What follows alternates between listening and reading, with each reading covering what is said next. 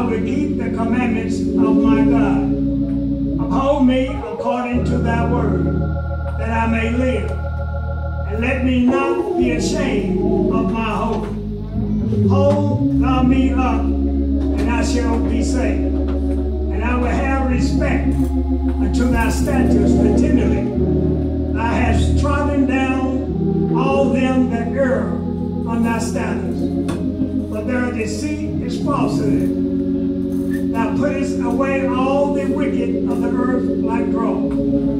Therefore I love thy testimony; My flesh trembleth for fear of thee, and I'm afraid of thy judgment. I just read the 119th Psalm, 113 to the 120th verse. And the Lord bless the reading of the read word, that it might be sown in the soul and sprang up to everlasting life. Amen. Amen. Our pastor is coming. Amen.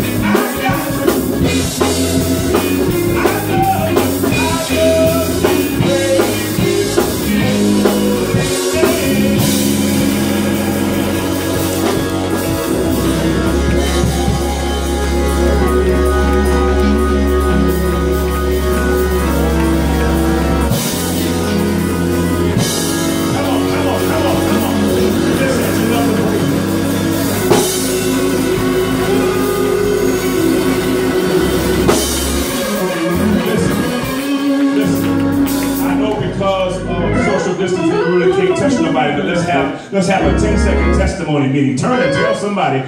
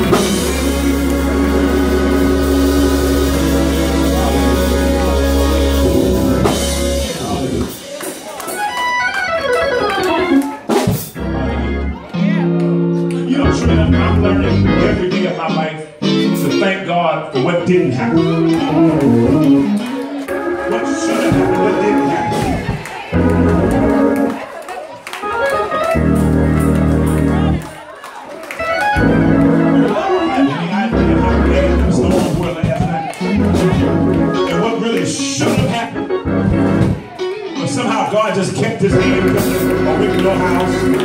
Y'all ain't, y'all ain't saying that.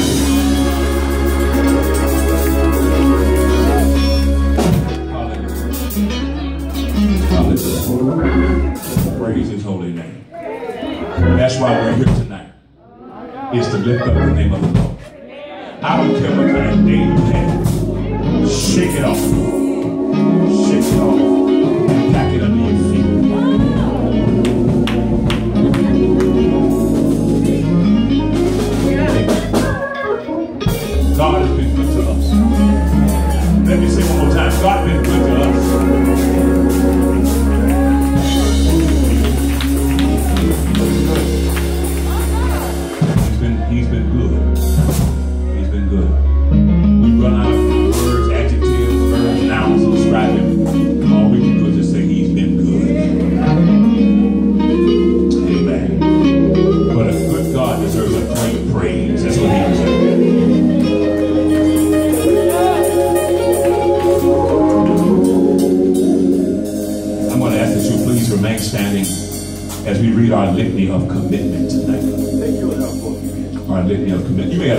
That's the beginning of our. Hallelujah. Hallelujah.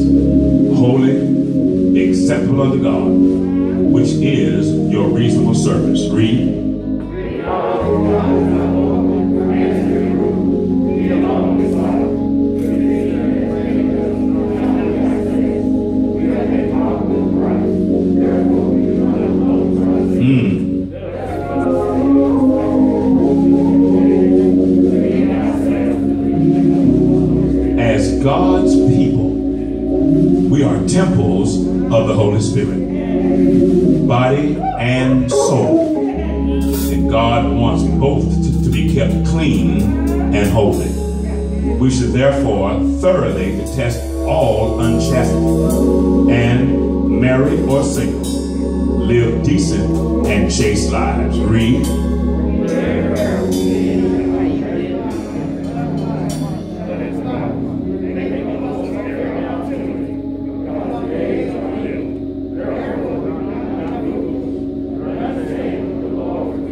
Let's read all together. Chosen people of God, then the holy people whom he loves, we are to be clothed in heartfelt compassion, in generosity and humility, gentleness and patience. Bear with one another. Forgive each other. The Lord has forgiven you. Now you must do the same. Amen. Come on, give God praise for his word. You may be seated. Deacon Smith, if you'll come and read our statement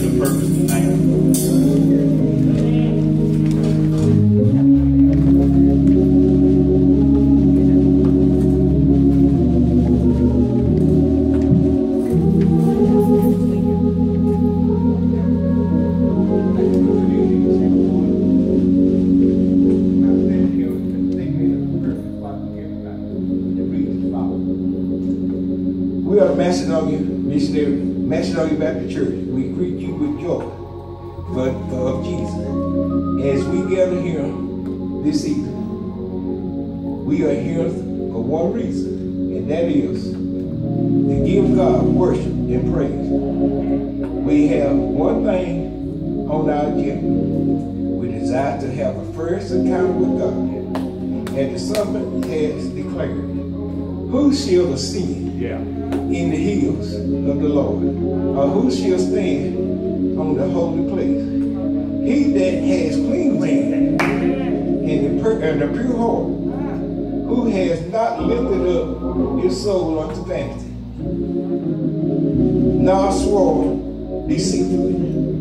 Revival is about taking self-introspection, looking deep within our own self and admitting that we have sinned before him. Thus, break the fellowship and have a desire to be clean by his blood. God will meet us only if we have a heart that recognizes our need for him. Therefore, this therefore this is evening.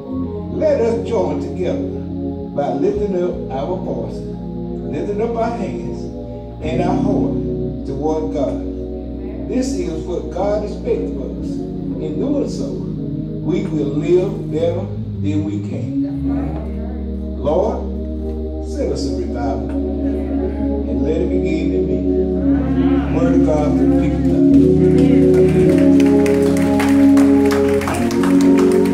Thank you, sir.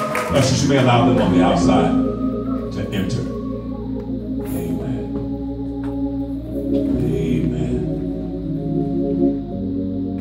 Amen. I want to stand tonight and welcome all of you, our visitors tonight. We are so delighted and so humbled to have each and every one of you to join in with us in this reconciling ourselves back to God and to one another revival 2021. It is our honor to have you. It is our privilege to be able to serve you, and that is what we are here to do. If you need anything, we have ushers and officers sprinkled around, members are sprinkled around you. All you have to do is let someone know, and they will certainly come to your assistance. So I want to welcome you, not only here in face to face, but also in our virtual worship as well. We thank God for you being with us. On behalf of myself, my wife, my children, the ministerial staff, deacon and deaconess ministry, and the whole house of faith of the Macedonia Missionary Baptist Church, we welcome you. And we pray that we have already presented ourselves friendly and we've already made you feel welcome enough that you'll want to come back to the metropolis of Waco and worship with us again. Come on, Macedonia, let's greet them with a hand clap of appreciation. Showing how much we love them for being with us tonight. Keep those hands clapping. It's giving time. Amen. Going to ask if our officers who are on duty, if they will come quickly. Amen. If they will come. And as we lift up our offering tonight. Amen. You've already purposed in your heart what you're going to give. And I pray that you will be a cheerful giver. For the Lord loves a cheerful giver. And I will have you know that not because I'm pastor this church, but this is good ground. Amen. And when you sow seed, you sow for a harvest and you want to sow in good ground. And we believe God and God will do just what he said. God will bless you when you sow. Do I have anybody who believes that? And know that God will do just what he said. So again, as we give tonight, we're asking that you will do that. We're going to walk tonight. We're going to do that. Amen. allow you to stretch your legs again before we get to the Word of God. If you have your offering, just lift that toward the Lord. We do that here at the church. We lift our offering because what you have in your hand is more than an offering. It is a seed. And we know that God certainly will definitely give seed to the sower. Father, again, we thank you so much for all that you have done and what you continue to do. You have allowed us again to be able to earn wages and be able to sow them into the kingdom of God. So as we do it, God, let us have the right attitude. Your word teaches that you love a cheerful giver. And bless those who wanted to give but just did not have. Allow them to come and present their bodies as living sacrifices. God, we know that you will uh, turn their situation around, and we're sowing tonight for that. We're sowing for our youth. We're sowing for our ministry. We're sowing to be able to aid those in the community. We love you. We bless you. It's in your name we pray. Amen. And thank God. Let's you allow me to enter. What happens the two outside house? Will you please stand? All those on the outside house, will you please stand in front of the rest our offerings on. God bless you.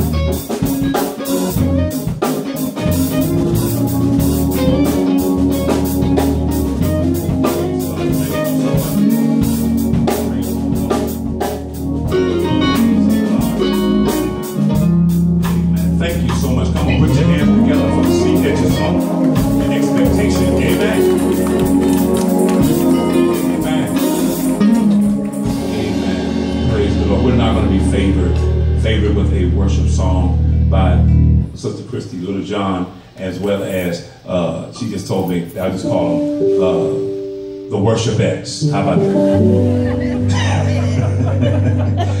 Amen. We're so grateful. We're grateful to God for them coming tonight and aiding us, and sharing with us, and assisting us in our worship experience tonight. Come on, let's greet them with hand clapping. Let's worship.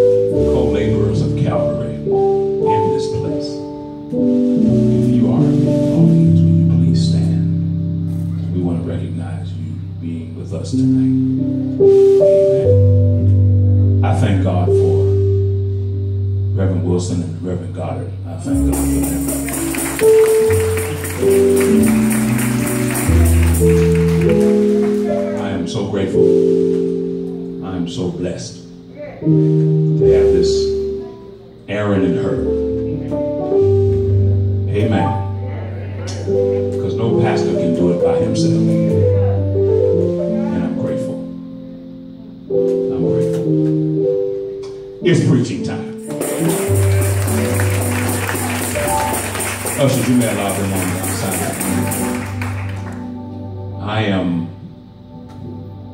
particularly excited to have another son of this ministry to be home tonight. He is no stranger to this place. He's no stranger at all. I am so grateful for him, for his tenacity, his perseverance, and his willingness to still obey God and still stand in the face of challenges. I thank God for him. Not only him, but his lovely wife. Marisha, where are you? Where, where? Hey, you. God bless you.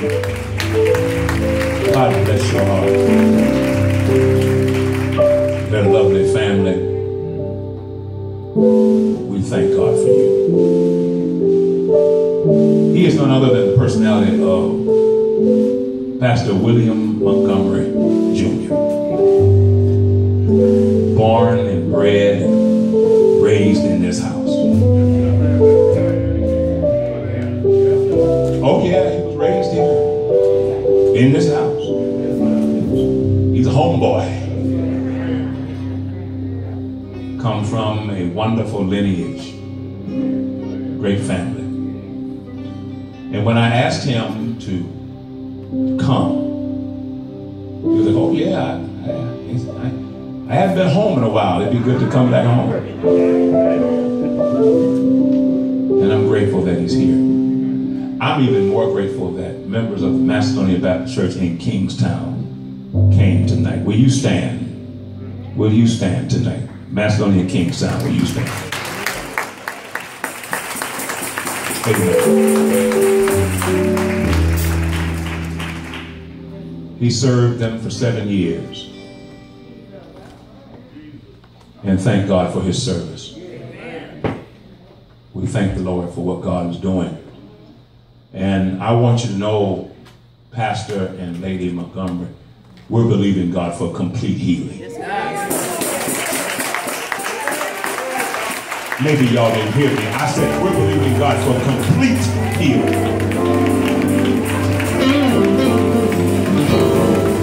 Now maybe some of y'all don't believe in healing, but I believe in God for complete healing.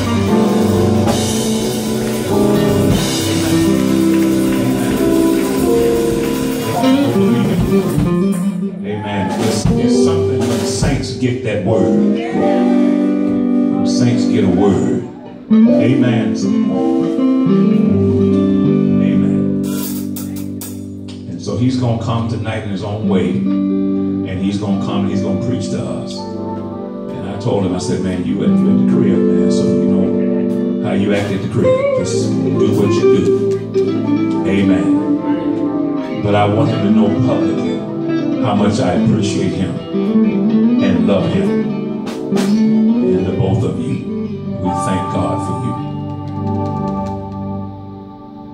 Christy and the worshipettes are going to bless us with a song that is suitable and sets our hearts and set the atmosphere for preaching.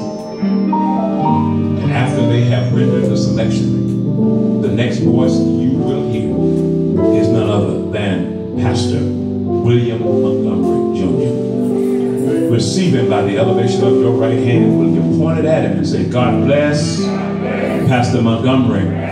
Pastor Montgomery, do what you do. Preach the word in this house. And after you have taught us, give us a mind to obey and do what we've been taught. Now come on, clap your hands with expectation.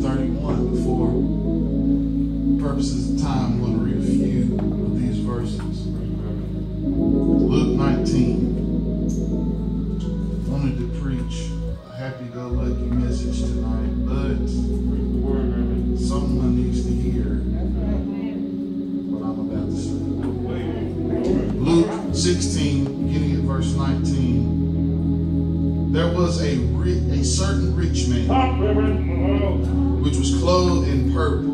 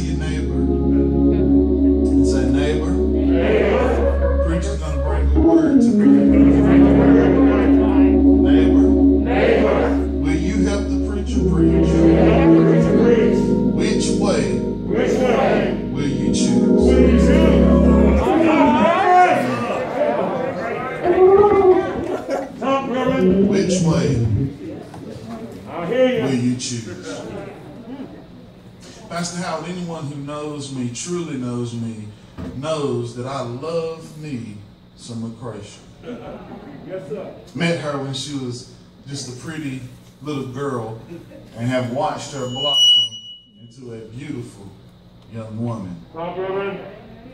I love her dearly. She has walked with me not only through the sickness as of late, but all throughout life. When we were broke and didn't know how we were going to make it, and we were hanging out at Garden Web, and she would run to the calf and fill up a box of food and bring it back so me and her could eat. When we would travel to Huntersville to go shopping, all of the various memories that we have, it just reminds me of how much I love Lucretia. Amen. She makes my medicine. She cooks my food. Changes my band-aid. She does everything for me. I don't know how I would make it without her. But forgive me, baby, as much as I love Lucretia, there's some things that I just can't stand. One is she does not make decisions well. I'm talking especially about when we go eat. Talk, Reverend! She can never decide where to eat. Now, in all fairness, her and my sister will tell you whenever it's time to decide where to eat, I will always change my mind. We're going to go to Applebee's. We'll pull up to the parking lot and I say, I actually want to go to Golden Corral. but they get frustrated with me because I can't seem to make a decision. Uh-huh. Well, as a Baptist preacher, there's another group of people that irritate me to no end. It is those who sit in pews week after week and hear the gospel of Jesus Christ presented, but they can't seem to make a decision. People need to understand that we are not here to entertain you. We're not here to give you motivational pep talks in order to get you through your week. But what we do when we stand behind this sacred desk is that we are urging and pleading with you to give your life to the Lord Jesus Christ. That is for those who are lost in the room. But for those of us who are saved and sanctified in the room, we are trying to get you to fear the God you claim to serve. To love Him. Folks shouldn't have to urge you to worship and boost and build you up and shouldn't have to tell you what to say and when to say it and how to say it. But if God has done anything for you, you ought to be ripping the roof off of this place. The reason why the redeemed, the reason why the children of the living God have a reason and a right to praise is because of what lies ahead for us in eternity. God has created a home for us to dwell. It is a home full of rich and prosperous blessings. And if you belong to Jesus Christ tonight, and only if you belong to Jesus Christ, it will soon be your home. As we look at our text tonight in Luke chapter 16, Jesus is talking to the Pharisees and his disciples. He says everyone gathered around him and he's beginning to tell them about how one can get in to heaven. Heaven is real. And if you believe heaven is real, alternatively, you must believe hell is real. Jesus is going to tell a parable. He's talking to these Pharisees to be exegetical for you theologians in the room. He's been talking to the Pharisees about their money problem. See, the problem is not having money. I know some of you want to have money. All of us want to have money. The problem is not having money. The problem is money having you. And this is the problem that we find with these Pharisees. Jesus is talking to those who are the outcasts of society, those to whom we would turn our nose up, those to whom we wouldn't invite to our homes for dinner. He's, he's talking to them and he's inviting them to come to him. But these Pharisees are turning up their long noses at Jesus' crowd.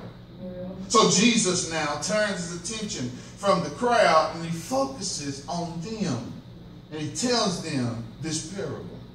The parable is a series of contrasts. Uh-huh. You have a very wealthy man and you have a very poor man. Uh-huh. Now, before you get the wrong idea and leave this place thinking that I was teaching some twisted theology, I'm not teaching that you go to heaven, go to hell for uh, being rich. Not teaching that you will go to heaven for being broke.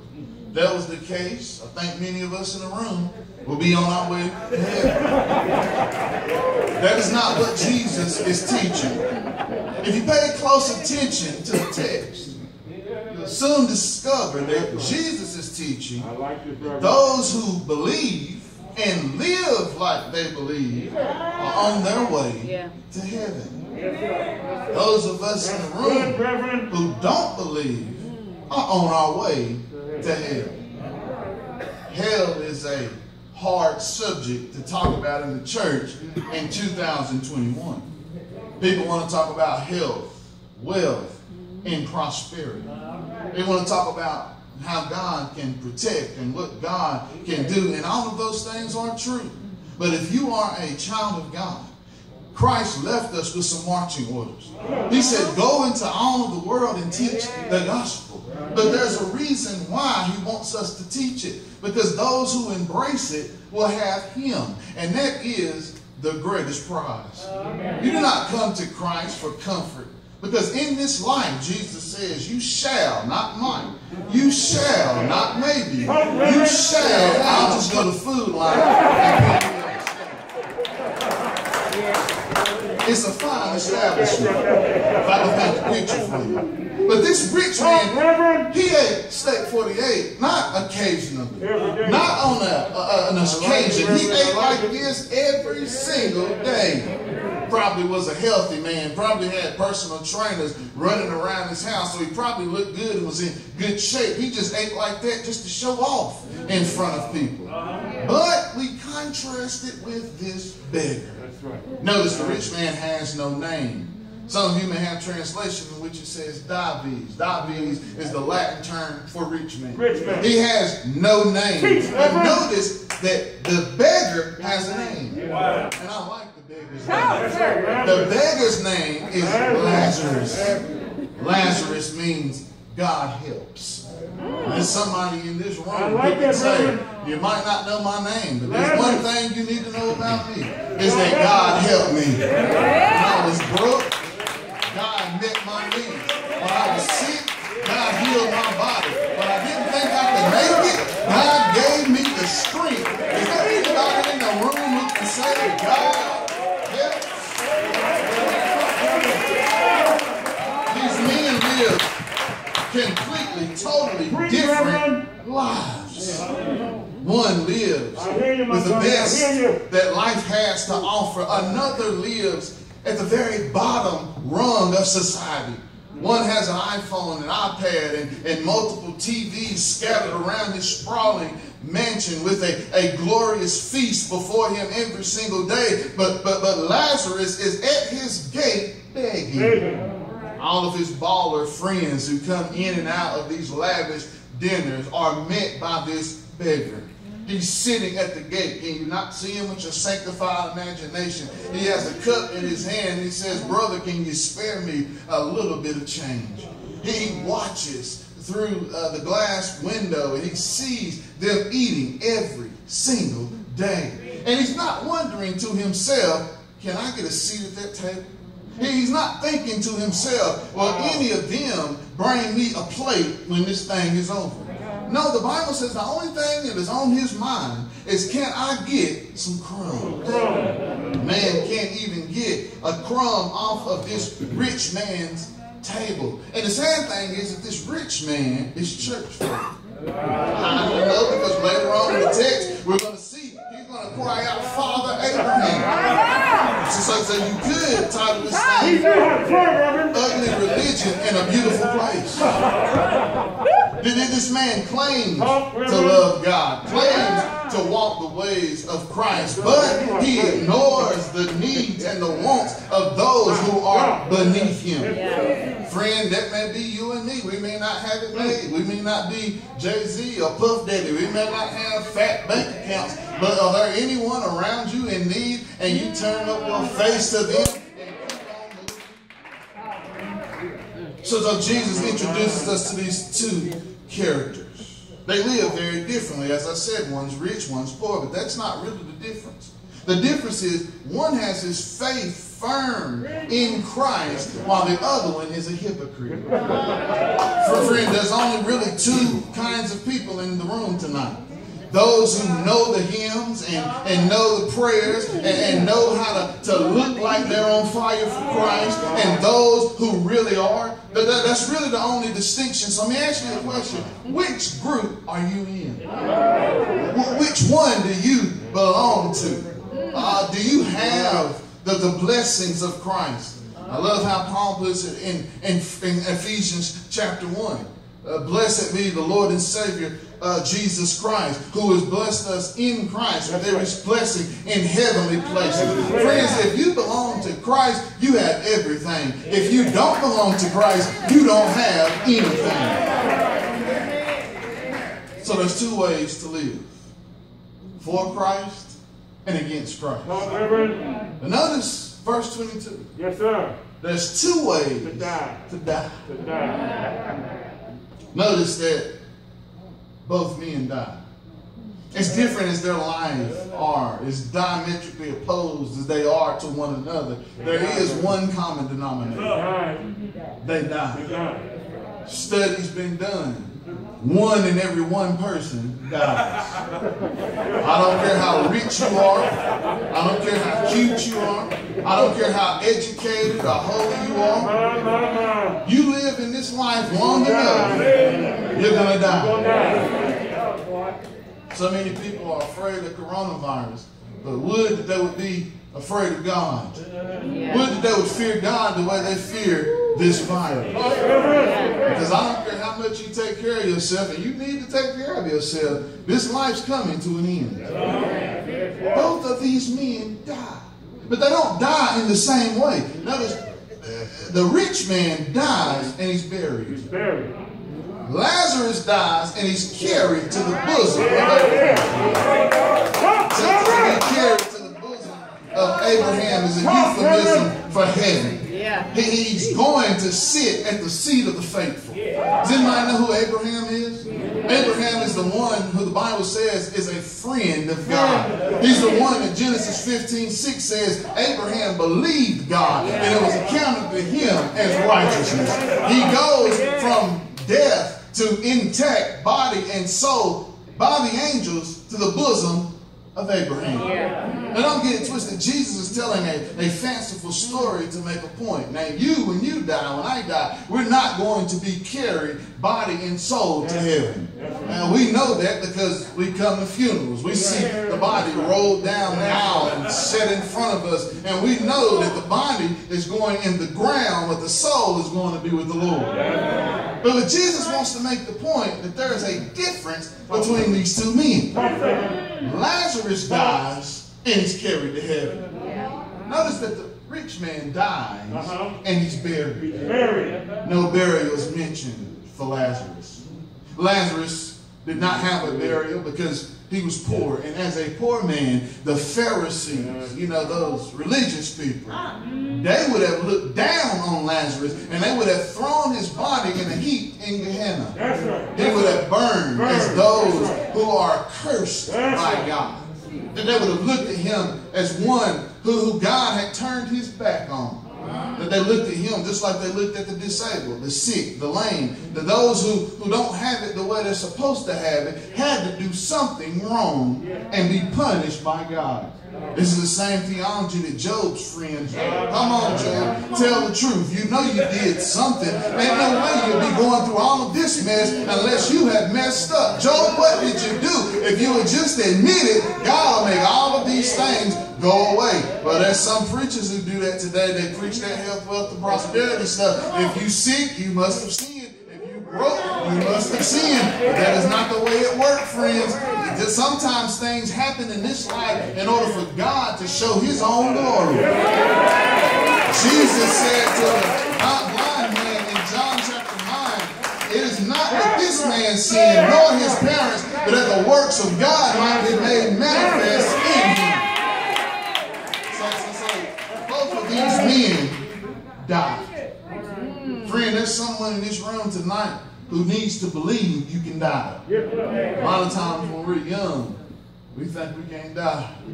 We almost think we're invincible. We almost think time is not going to turn its back on us. I can remember I saw my fate before me, Pastor Howard, I was taking my dad to uh, the doctor in Shelby. And they were talking to him about his, his kidneys. And they told me that I had a little bit of protein in mine. But you know what I thought to myself? I said, you know what? He's 46. And see, to my mind back then, that was old. He's 46. He's old. Well, I got I got plenty of time. That's right. I'll keep on doing my thing. I'll keep on drinking. Hope that don't offend somebody in the room, but it's No, part of my yeah. testimony. I'll keep on drinking. I'll keep on eating like I want to do. And one day down the road, I'll get it together. But I found out real quick, one day might not never come. All of us, no matter how healthy we are, no matter how young and strong we are, all of us are going to meet our demise. So both of these men died. Oh, their stories are so different. Because Lazarus dies and he's experiencing all of the blessings of heaven. All of us who are preachers of the gospel, we are so, are so thankful when we preach uh, the funeral of a saint because we know what awaits them. We know we're preaching about, what we're getting happy about, they're enjoying right now. Those who are in your family, those who are close to you, who died in Christ, are experiencing bliss on a whole nother level. Something that you could never think about. I have not seen, ear has not heard, nor has it entered into the heart of mine what God has prepared for those who love Him. Lazarus is enjoying heaven. He's in the bosom of Abraham. But most importantly, he's in the presence of Christ. And he's experiencing all that he heard in Sunday school, all that he heard in the worship service, but not the rich man. The rich man is in agony. The Bible says that he lifted his eyes in me. There's two ways to live. There's two ways to die. And lastly, there's Yes, two places to spend Yes, sir. eternity. Notice that Lazarus is in heaven. Heaven, sweet heaven. Does anybody in the room know about heaven? There's some people I want to see when I get to heaven. Yes. I want to see my grandma Janetta. I want to see my papa Frank. I want to see my Uncle Pete. I want to see my Uncle Pastor Montgomery. Lord knows I want to see my daddy again. As I stand here tonight, I can tell you the truth. When I get to glory, and I can hear Carolyn singing it now. When I get in glory, I'm not going to be looking for any of them. Talk, Reverend. Talk. Because I've got to meet the man who loved me before I loved myself. I've got to meet the man named Jesus.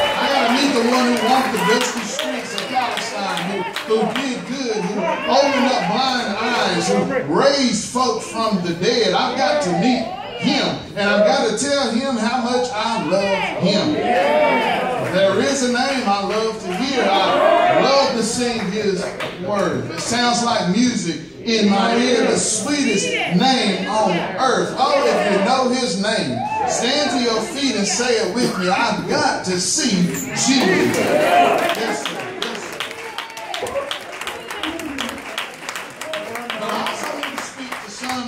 Tonight, briefly before I leave, about the other side of that reality. Notice that this My, my, this this rich man finds himself in hell. He opens his eyes and he's in torment. The word means constant, perpetual pain. Heaven is eternal and real, and so is hell. Right. And this man is suffering. But I want you to note something. Hell does not rehabilitate anybody. It's not remedial. Ah, Reverend. Hell is punitive. It is intense, long suffering. This man is no different than when he died. He, he was arrogant while he walked this earth. He thought he was something. He thought he was somebody. And he thought people were put on earth to serve him. So a, a conversation ensues with this rich man. All right, now let's hear it. He turns to Abraham and he, he cries out. In other words, he, he yells, Hey, Abraham. Yes, sir. But it doesn't just say Abraham. Notice what he says Father Abraham. He- He's appealing now to his race, to his status. He's, he's a child of Abraham. But, but, but, but Jesus says he could raise up children of Abraham from these stones. But these Jews would often well, brag about the fact that they were the seed of Abraham. Uh, don't think it's irrelevant because some of us in the room do this also. I'm the grandson of so and so. I'm the son of so and so. I'm the daughter of so and so. But listen, friends, it don't matter who mama believed in. It don't matter who daddy believed in. You better know Jesus for yourself. He he says, Father Abraham, don't miss it. No, no, no, notice what he asked him. Send Lazarus. Notice the audacity, the arrogance of this man. Send Lazarus to go get a little bit of water. Put a drop on my tongue. Why does he want this? Not because a drop of water is going to alleviate all of his pain. Not, not, not because he, he can get a pipeline from heaven and, and drink to his soul's content. No, he just wants a little bit of relief from this pain. So he says, send Lazarus to give me a drop of water. And I'm glad Abraham ain't like some of us in the room. Because we would have said, oh, no, you ain't. Wouldn't even give Lazarus a crumb off your table. Now you want to drop on your tongue. No, no, because of what you have done and how you have lived, you are, are to here to, to suffer eternally. Listen, friends, this is a true and, and, and deep reality. Those who are in hell are not changed. They are the same people they were before they got there, and they don't want to get out. Notice he doesn't ask for God, he doesn't ask for Jesus. He says, Send Lazarus down here. And, and Abraham says, Well, well, well, well, that's not possible. Uh, two reasons. One, because there's been a gulf fixed between you and us. So that nobody here can come to you and you cannot come to us. Uh, and why would anybody want to leave the glories of heaven to hell? Well, if you see a, a child in hell, maybe you would want to go.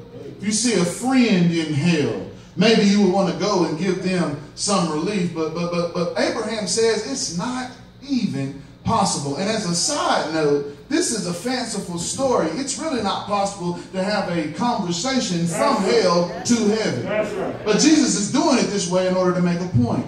That this man wants uh, Lazarus to come and relieve him, but he says to Abraham, Well, okay, since he can't come to relieve me, send him to my house. I've got some brothers over there. Warn them that they will not come to this place.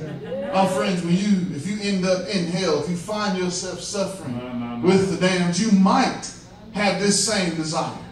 Uh, Lord, send them a preacher. Send, send them a deacon. Send, send somebody by my house and warn my family not to come to this place. Uh, remember, I told you hell is not remedial. So notice that this man does not now have a heart for the world. He does not say, send Lazarus into all the world and tell every boy, girl, and, man and woman about this man named Jesus. Tell them what I did not listen to. Tell them the good news so that they will not come to this place. No, he's only concerned about his brothers. Send them to my brother's house. I love uh, Abraham's reply. I, I just love it. He says, uh, No, I'm not going to send him. And here's why. They got Moses and the prophets. In other words, they got the word of God. But they don't have hucksters in the pulpit. They got the word of God.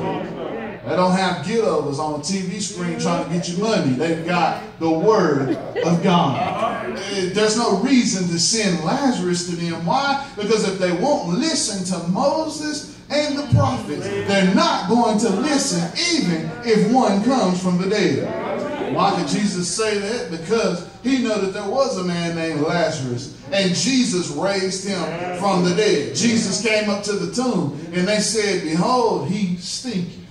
Jesus told them to call him out, roll back the stone, and he says, Lazarus. I love that old preacher said, if he wouldn't have said his That's name, it. the whole graveyard would have come walking out. But he says, Lazarus, come forth.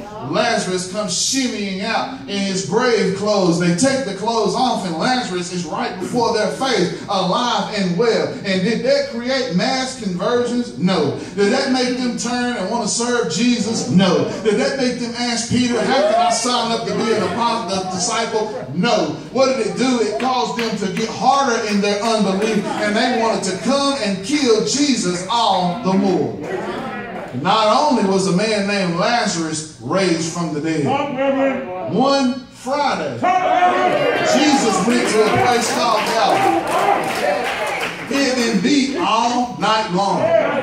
Jesus can serve being beat all night long. We ought to be serving with all of this luxury that surrounded us. They beat him all night long. They spit on him. They called him names. They took his hand. They stretched him out wide. They nailed his hands to an old rugged cross. They, they put him up high. He, he hung down his head and he died. Do you believe Jesus died? Might not believe it, but old Calvary, he died. He gave up his ghost. He said, Into your hands I commend my spirit. Jesus died, but I'm so glad that is not where the story ends. Early on Sunday morning, before the dew even dropped, before there was an echo of light in the sky, he got up with all power in his hands. And Jesus came back and folks still won't believe. So he says, it don't matter if somebody comes back from the dead, you've got Moses and the scriptures. But can I tell you tonight in Waco in 2021, we've got something even better than Moses and the prophets. We've got Paul and the apostles. Well, we've got epistles of the New Testament. We've got uh, Matthew, Mark, Luke, and John. More, more than that, we've got Jesus. And Jesus is telling all of us in the room, we need to come to him. So friends, you need to ask yourself tonight, which way will I choose? Am I going to follow my own self, my own way, my own thing? Or am I going to follow the one who gave his everything so that I might have eternal life? Praise God. Amen. Amen.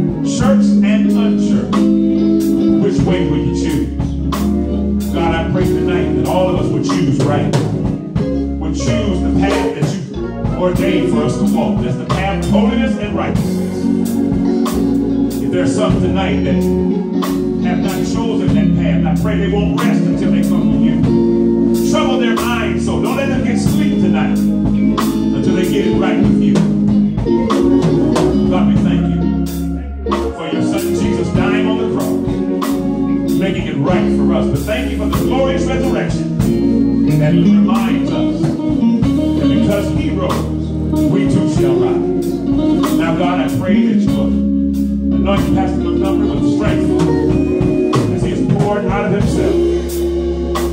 Continue to allow him to stand bold and proclaim the gospel of Jesus Christ. Thank you for his life. Thank you for his children. Thank you for Master in Kingstown. Thank you for them. Continue to bless, anoint, and ordain. But bless that person that we're beside in our marriage and family. Keep us in your care. We realize, Lord God, there's trouble in Afghanistan. There's trouble on our streets right here in Waco and Shelby. There's trial, there's tears everywhere. But God, we thank you. We hold on to you. Triumph will come. Thank you that we got a place that's waiting on us. We don't have to worry about wickedness. We don't have to worry about evil. We're going where the wicked will cease from troubling, and the weary going to be at rest. I know my Redeemer liveth, for he liveth in me. Thank you. We love you. We bless you.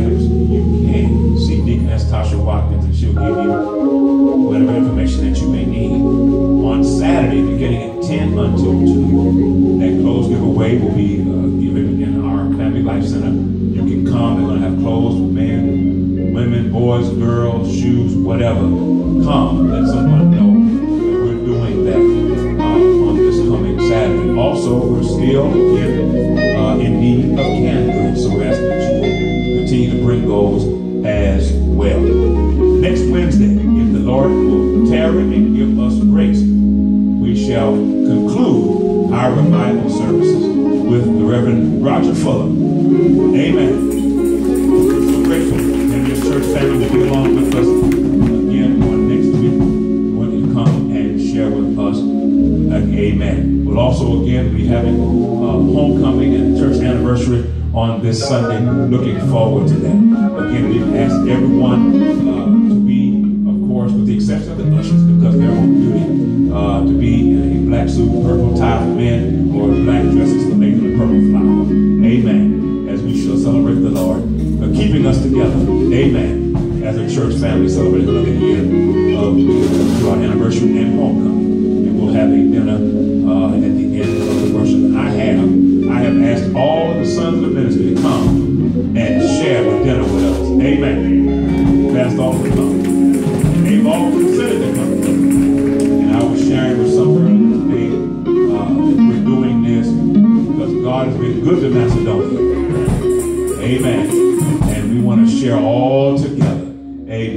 come and worship and share and honor the Lord for all that He has done for us. Amen. He is going to come back with the final remarks and the benediction on tonight. Let's stand and receive Pastor William Montgomery.